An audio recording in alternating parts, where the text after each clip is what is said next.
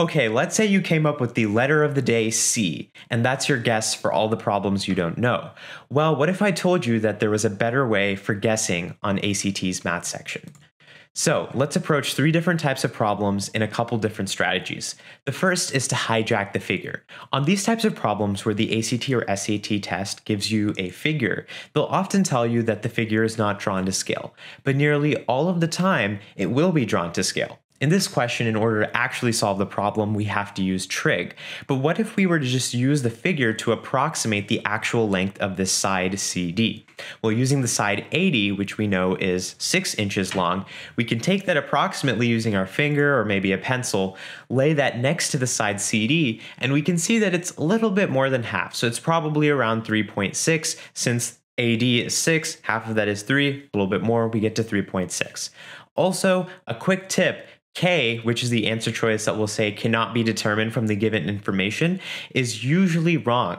Statistically, each answer choice should be right around 20% of the time, but this cannot be determined from the given information is actually less than 20% of the time it will be correct. So you have a higher chance of just guessing one of these numbers and using a strategy like hijacking the figure. Let's get into the next strategy through problem number two. In this problem, we have two different triangles and we see that one of the sides is in a ratio of two to five. And so in order to get the other side, we can approximate using this ratio.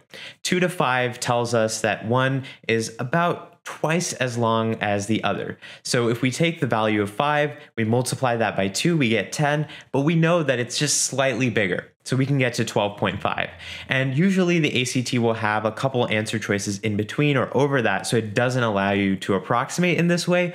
But there are oftentimes questions like this where you can use approximation, not only to guess if you have no idea how to solve the problem, but also just to approximate to save a lot of time on your test because the ACT math, as we know, is very stringent on time.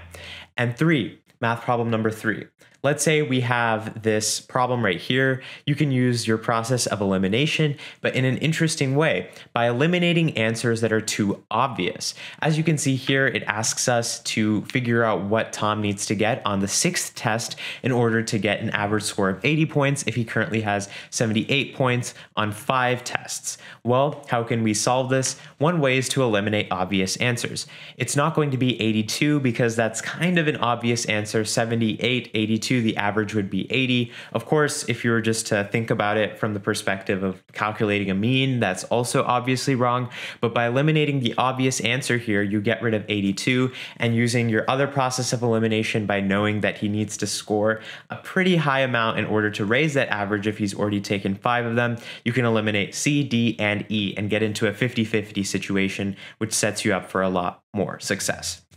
So, given all of this, I do want to say that you should aim for getting everything right if you can. But of course, time is a factor, time exists. So, ultimately, sometimes people have to guess. And that's why you can use the ultimate ACT guessing strategy on your math section. Good luck. Watch the next video on the screen, which teaches you how you can get a 36 on your ACT test.